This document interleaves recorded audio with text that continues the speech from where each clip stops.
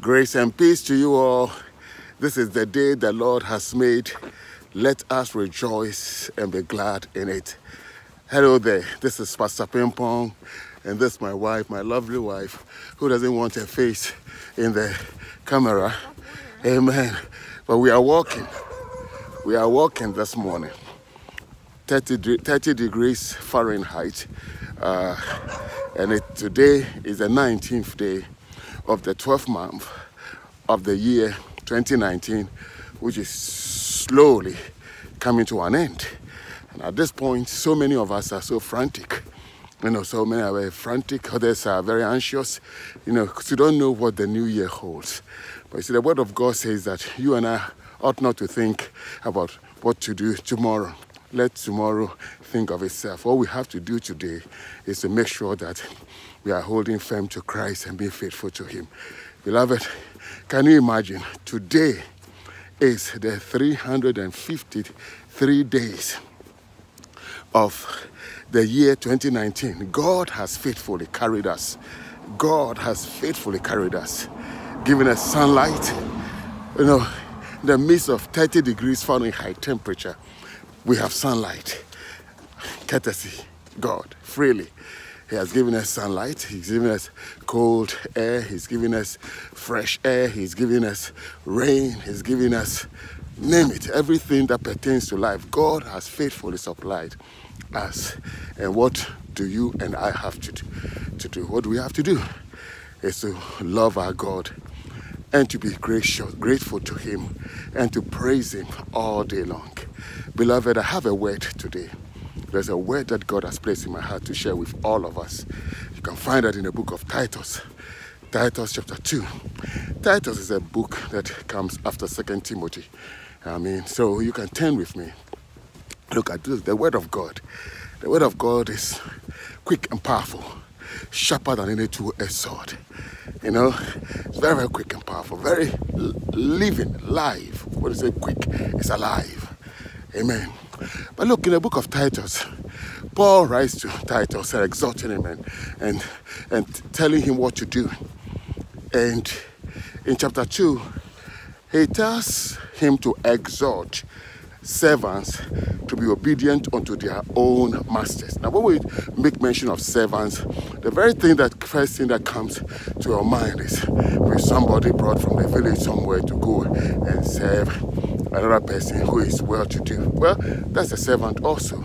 Or maybe slaves who were brought here and stripped of all, the, uh, of all their dignity and made to serve. You know, that's what perhaps somebody thinks of. But you see, a servant, actually, do you know that the political leaders are servants? They are. The president is a servant. Senators are servants. You know, congressmen are servants. Judges, are, they are all servants. They've all been put in their place to serve us, to serve the society. So every one of us is a servant. We are servants. And so a politician occupying, being a Congress or whatever, have to think about his constituencies, those who elected him and put him there, because they are the ones who have appointed him to represent them. So he's a servant to them.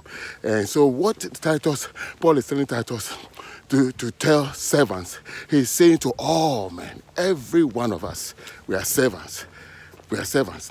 And he says, servants have to be you know, submissive, obedient to their own masters, which means that those of us, people who elected representatives, are masters. We tell them what, what they need to do for us. But do they do that? No, they don't consult with us even before making decisions. They don't.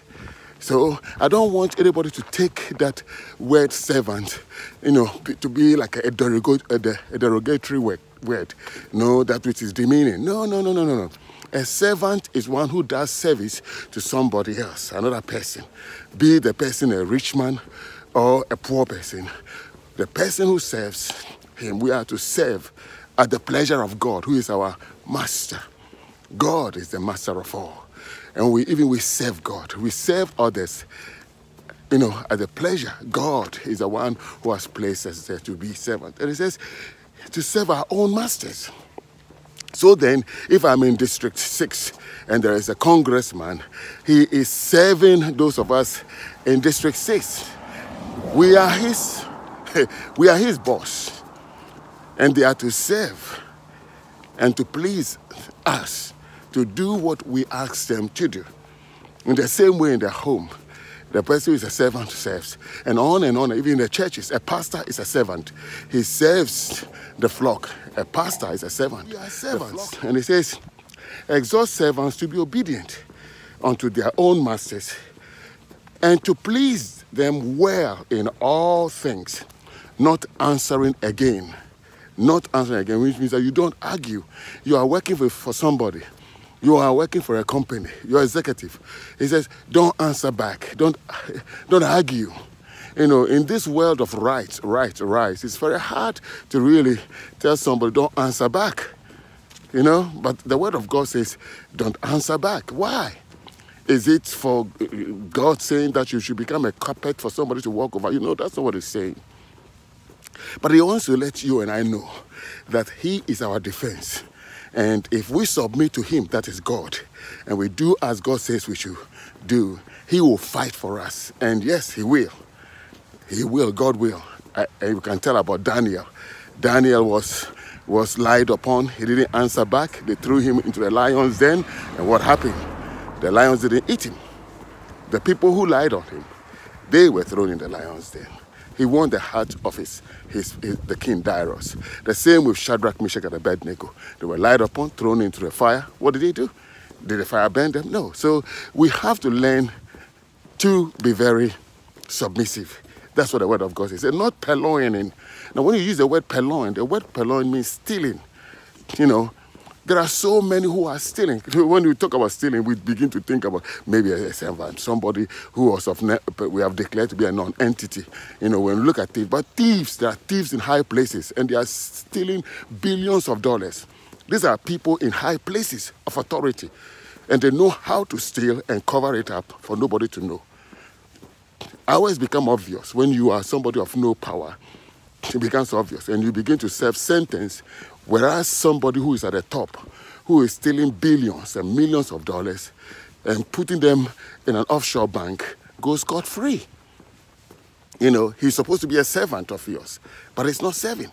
And I have to make this thing clear because that is then you can appreciate the word when God's word says that let the servants be obedient. But it is not like that. There are so many who are not being obedient. But I pray that as we enter into the new year, every one of us will get to know that we are servants. We are servants. You know, pastors taking money, buying private jet planes and flying. You know, in the meantime, the congregation, people are struggling, can't pay their rent, can't pay their bill, can't pay their children's school fees. The, why is the pastor or bishop, whatever it is, has his own private jet or perhaps riding in a million dollar car and wearing a uh, thousand thousand dollar suit you know, $5,000 suit. For what? As if he will not die. And yet he fails to realize the fact that he is a servant to serve the flock of God. He says, not purloining, not stealing, but showing all good fidelity. When I say fidelity, faithfulness, you know, cause or belief, that they may adorn the doctrine of God our Savior in all things. Servants to adorn the doctrine of God, of godliness in all things.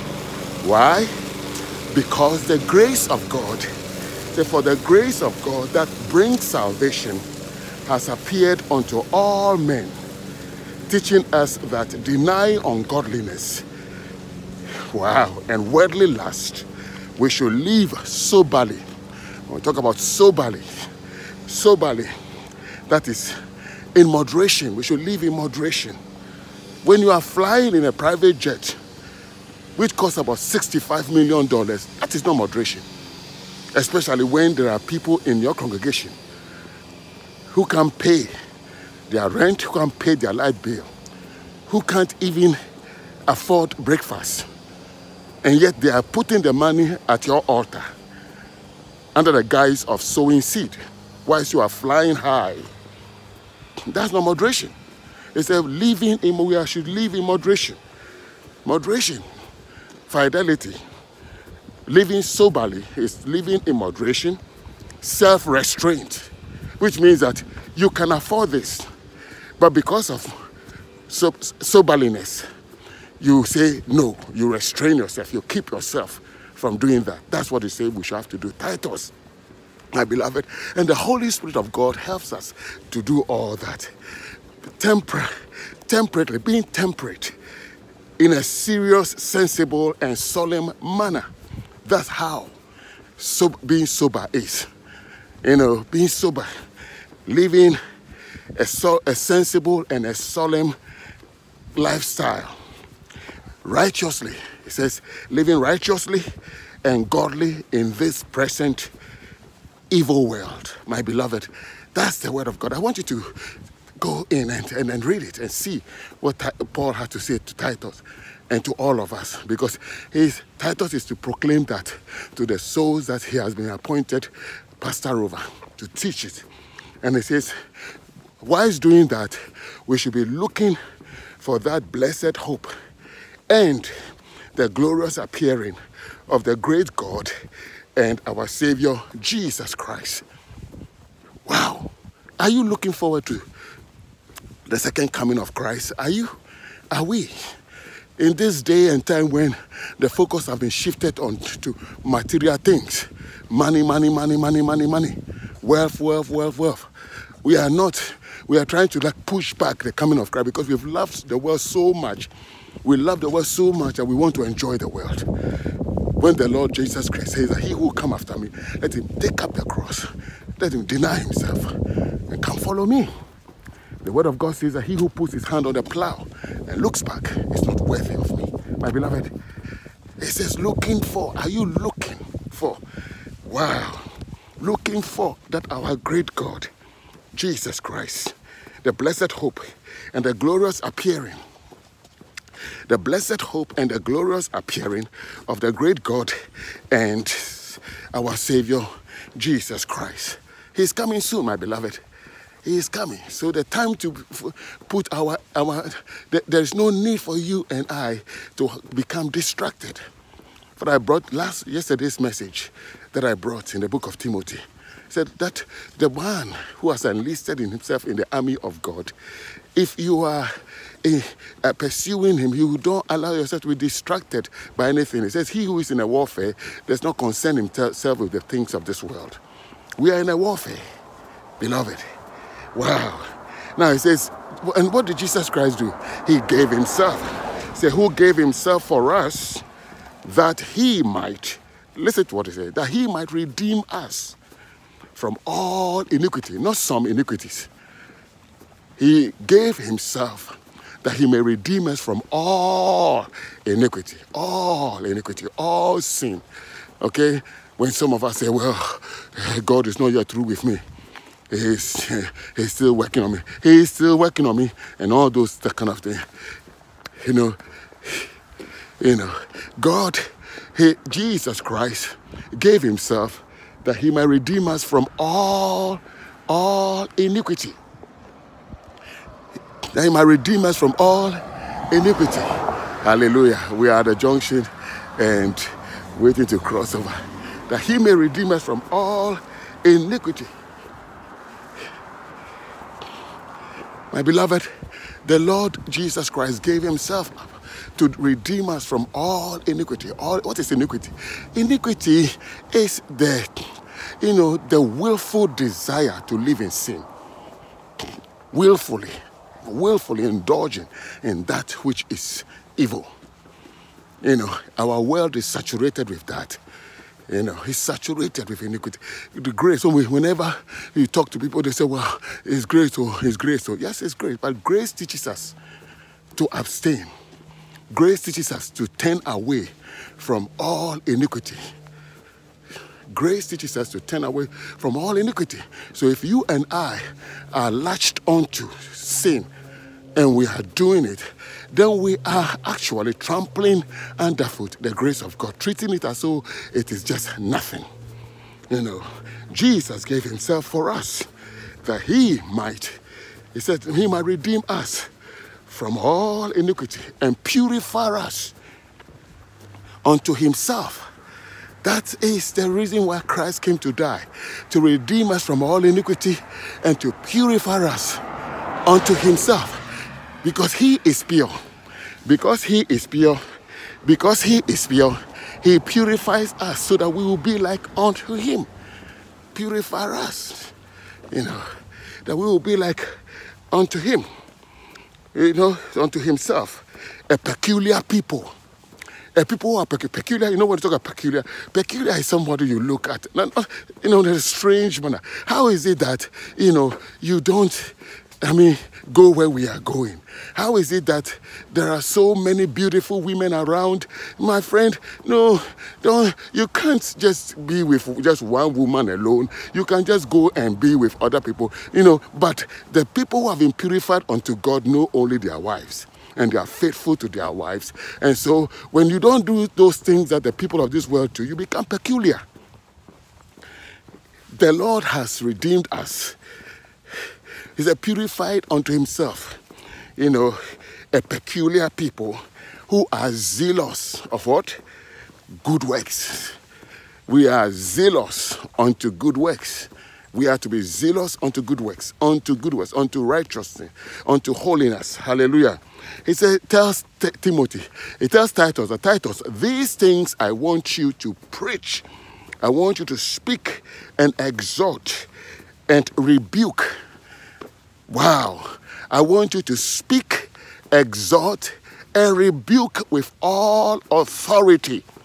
So you see, when you have some preachers saying, well, we are already uh, sin, we have already been reading sin, so I, am not going to talk about sin. I'm not going to preach about sin. And they are not doing what God's word says. He says, Paul is telling Titus, Titus, he says, he says, speak this, exhort, and rebuke with all authority.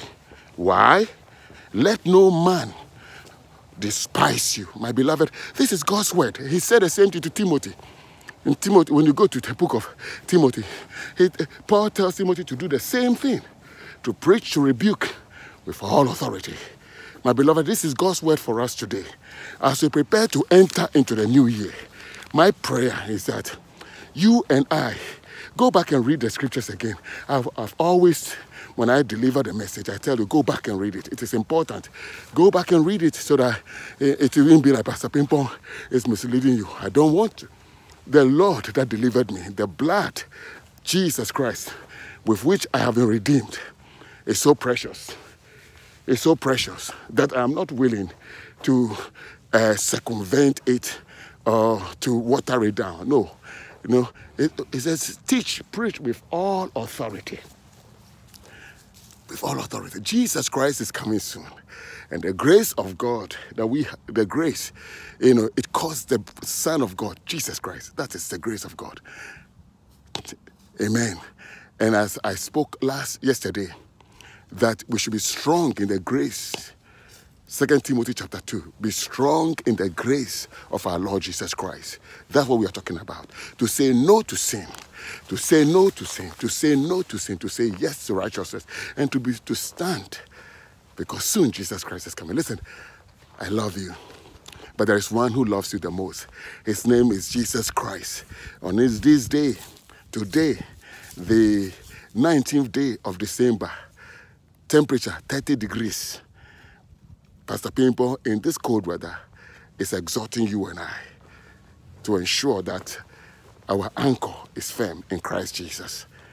That we swim in Christ, live in Christ, enjoy Him, live in the Spirit, walk by the Spirit. Okay? Listen, God bless you. Grace and peace to you. God bless you. In Jesus' name. Bye bye.